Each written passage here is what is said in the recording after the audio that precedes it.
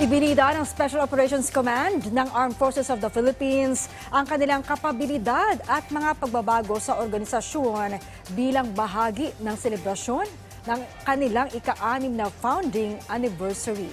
Yan ang ulat ni Bian Manalo.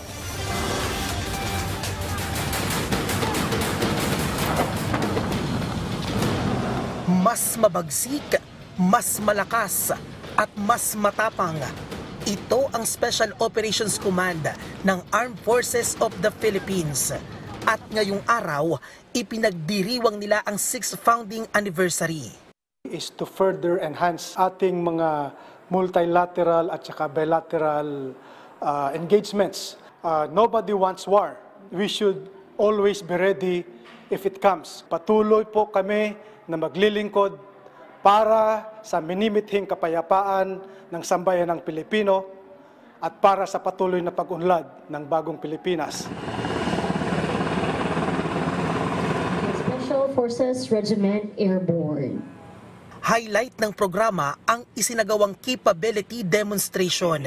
Nagsilbing panauhing pandangal sa selebrasyon si Armed Forces of the Philippines Chief of Staff General Romeo S. Browner Jr.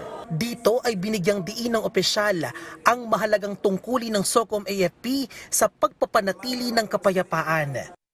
Hindi pa po tapos yung problema natin sa internal security operations. We are still facing the threat the communist terrorist group and SOCOM forces are in the forefront of our fight against these forces. Tinalakay din ni Browner ang ilang pagbabago sa SOCOM AFP.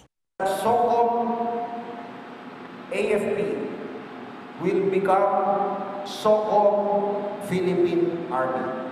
The Joint Special Operations will now become the Joint Special Operations Command and it will take the role of a combatant command. All of us, let us remain loyal to our Constitution and to the duly constituted authorities. Pinarangalan din ang ilang natatanging Special Operations Force soldiers at stakeholders.